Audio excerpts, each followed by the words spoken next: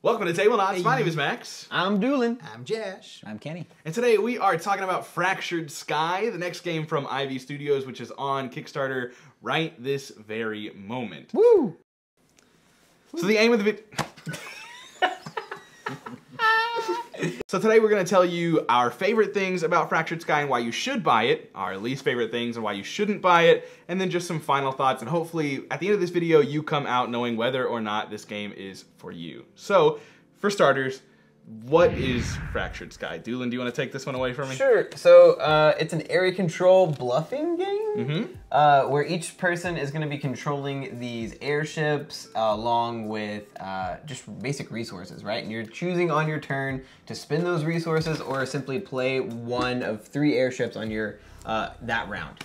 Uh, once you've used up all of those, you take one of the spots for the player order on the next turn, and then after that, we're gonna check all of the places that are gonna get revealed because there is hidden information uh, of where uh, you can score points. Think Mario Party, maybe, where like all these locations are going to uh, score you these star pieces, and whoever has the most star pieces at the end of the game is going to win. And so the thing on your turn is you have to decide, okay, am I going to go for resources, or am I going to bolster this area where I know that I already have a couple of things that will give me extra things, or am I going to spend some money to reveal to me some of the hidden information because everything that scores is hidden except for one every single round, which Yeah. is not that helpful as the game goes on. No. Uh, but start of the game, Yeah. it's one of three possible star Yeah. falls in the first round. By the end of the game, it's one of seven possible star Yeah. falls at the last round. Yeah. So it becomes increasingly more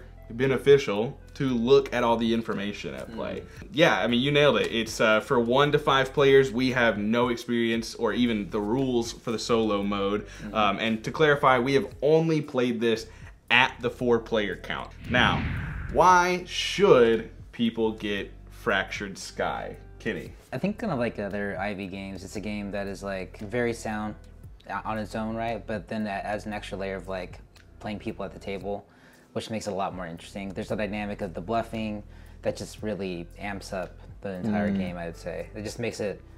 You have to think like five levels deep to really to really get ahead. But Yeah, if you're someone who enjoys poker or you enjoy other games where you're dealt a hand and it's up to you to figure out how to play not only the cards but also the people around you to try and read their bluffs like, oh, he went all in, but do I actually think that he has something good or is he mm-hmm. trying to bluff us? Mm-hmm. One of the wrinkles in this game is that you have, I believe it's what, 12 chips? And the vast majority of those chips are gray on the underside. Basically, when it's a gray chip, you know it's either a zero, two, three, four, five, six, seven, eight, nine. yeah, yeah. But then the 1 and the 10 are white on the bottom. So if someone plays a 1 or a 10 chip, that is that is concrete information. We know it's one of the 2 mm-hmm. The problem is which of the two did they play? So a lot of the game is about trying to read other people. If they've placed a white down, you're like, okay, but, but is that your one? Which one is it? or is that your 10? I do think, and especially our more recent play highlighted that for me, the use of the towers and markets and things like that really aid in the deduction element. Yeah, for sure, Um, for if, sure. if I've seen Josh put down two gray tokens that are both touching towers, lending it additional power, and then one white token elsewhere, in my mind, that white token is his 10 probably, and he's just Mm. aiming for resources with those two grays. I could be totally wrong, but I really, really love that element. I definitely think that this is a game for those that enjoy that. So one of the things I liked about it was that you could go for, um, I guess, asymmetric strategies. Because you can go for spending your resources to look at the objectives of where to place things or the objectives of what, like, condition you need to meet on the mm-hmm. board. But also, every turn, player order is decided as the you lay down your last chip, mm-hmm. and the person and who's player in order first. is crucial. Yes, it's going to change every turn, and Talk to the person who's lost on tiebreak twice. yes, Yeah. because player Twice. order decides the tiebreaker. Mm-hmm. Right. So there's a strategy of going last, so you get more information on the board and you can place your chips after everyone else. But then there's also an advantage to just getting your chips down as quick as you can and making sure that you win every tiebreaker. I think if you like a game that like ramps up too. Dang it, Max! I haven't gotten No, please speak to it. Please speak to it. One of the biggest uh, times I've ever agreed with like a uh, another creator was very early on in watching videos, and it was Alex from Board Game Co. Mm-hmm. talked about how he doesn't like when games take away things as game goes on, but instead ramps up, gives you more things to do, gives you more like abilities, and like it just creates this like first turn pretty simple. Last turn, incredibly fun, incredibly big. And this game is it takes that to a whole nother level because by by round one, we, we already established there's like three possible victory points that can be scored. But last round, there are I mean, Seven. seven at least, seven or eight, right? Yeah. How's there eight? Just seven. There's six rounds, right? Or is it Nope, five rounds. Oh, well. I'm done. the the ramping up is easily my favorite part of this. Is that by the end of the game, it's just so exciting, and round five is Mm-hmm. just like we're flipping over a million things, and tons of people are scoring points, and yeah, it's great. Now, for those who are on the fence, and we've been talking about what we like about the game, there are obviously imperfections. This is not a perfect game, and for those that are wanting reasons to not get it, let us try and push you over the ledge. Can you can you can you talk to that at all? Um, so I did not do very well these last two games. Uh, I think I came last both times. I think, Oof. yeah. oof. so I think uh, this is the kind of game like is. I found it really hard to kind of grok the strategy of like how to do well. I think I I tried to go for over information because I mean, don't you want that data to go by to make informed decisions? But I think I leaned too hard into it.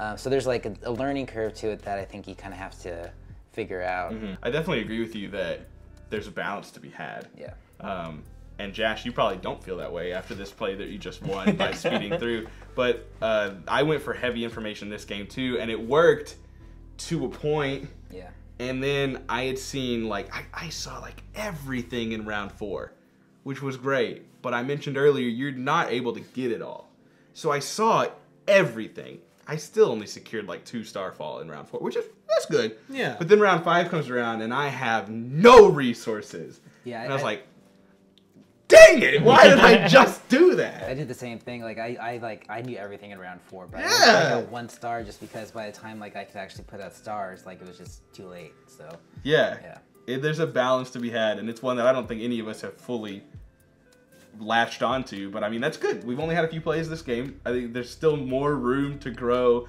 strategy to figure out. The skimmers we've talked about, Yeah. we, we've Never barely utilized them. You used it and One time. secured Yeah, two. Two starfall in round five with a skimmer. So there's there's a lot here that, on the surface, it's quite a simple game. But in learning how to navigate that ramp, ebb and flow, it, Yeah. there is a lot to try and figure out. Yeah. As a person who loves hidden information games, I know that that's also not for everyone, right? Like uh, if you're if you're the type of person who likes to look at a board and know everything that Yeah. everybody is doing, this is definitely not the game for you.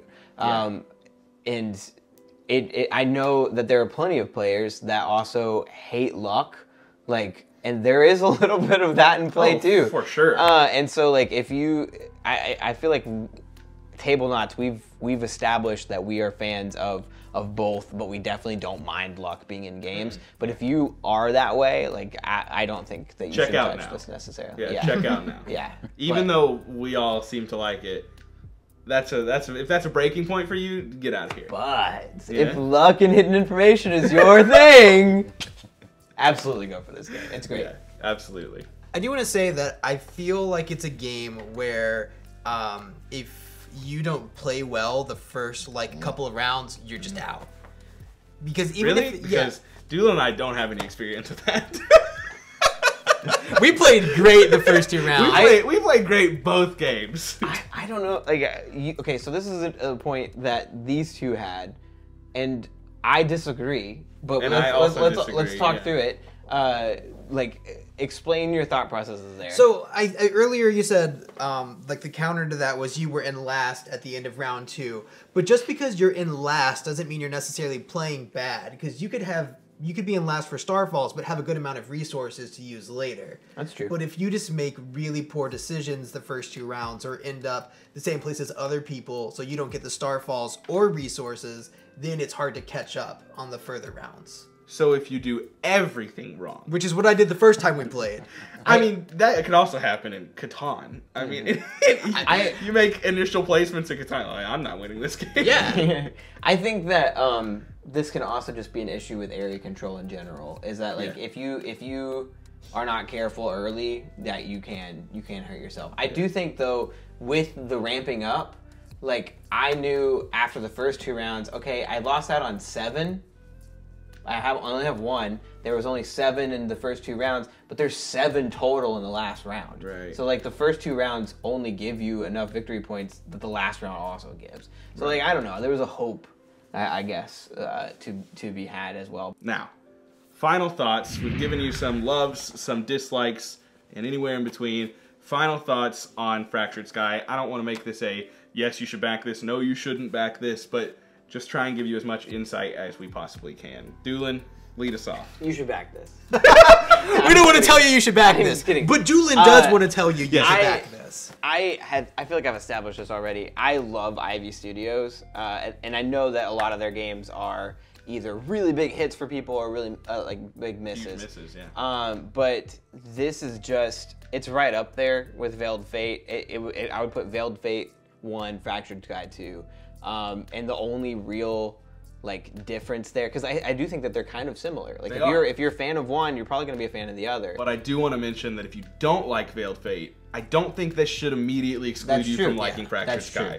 There's way more information to be had here, Mm-hmm. and I don't mean to to take over your statement, No, but I think it's important to mention that as someone who likes Veiled Fate, I actually like Fractured Sky more just because the additional information, though limited, Mm. is it adds to the strategy to me. When I play Veiled Fate, I have a fun time, but there are plenty of instances where I'm like, I don't know why I'm doing what I'm doing. I'm just doing this to do it. The game ends up being a blast, but I don't really know why I'm doing what I'm doing. Whereas when I'm playing Fractured Sky, I feel like there's enough information that I can parse to at least have a good idea of why I'm doing what I'm doing. So Yeah. if you like Veiled Fate, I think you'll like this. If you don't like Veiled Fate, I Maybe do still this. think there's Yeah. a chance that you enjoy this game. I don't want you to hear that and immediately tune out. I really, really enjoy it. I mean, Cult of the New, I understand that. I think this might be my favorite Ivy it. Studios I love game. hearing it. I don't want to like stamp that. I don't want to. I don't want to say that for a fact. I was really high on Mythic Mischief, and then it kind of fell. Though I do still think it's my favorite Ivy Studios game until this.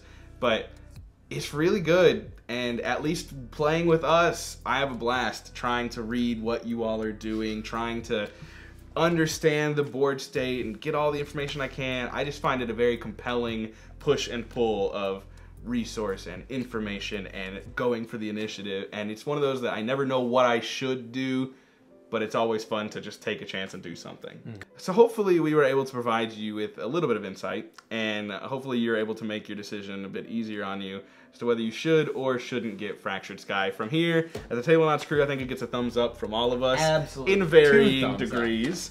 But Kenny, you didn't give a He, thumbs he gets up. like he gets the diagonal thumbs up. Do we want to do we want to do a rating real quick?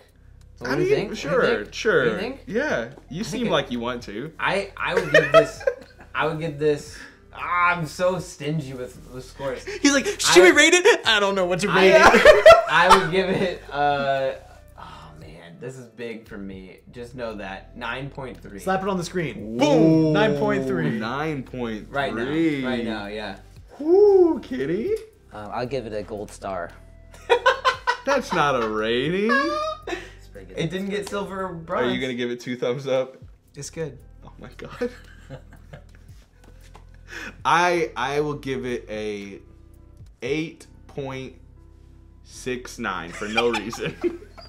Just that's it. that's it. That's the video. Oh, that really? You're gonna cut it there?